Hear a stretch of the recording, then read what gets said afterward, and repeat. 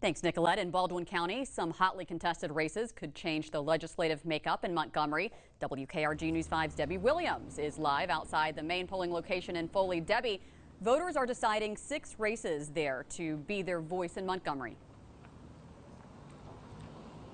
Yeah, they are. So we've got one Senate race, Greg Albritton up against Stephen Sexton, and five races for seats in the House of Representatives. There will definitely be some new faces in Montgomery after this election.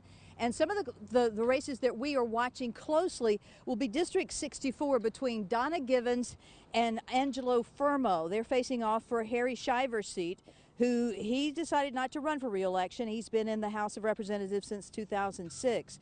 Now in District 94, you've got incumbent Joe Faust, who's been in the House since 2002, and he may have some competition from political newcomer Jennifer Fidler.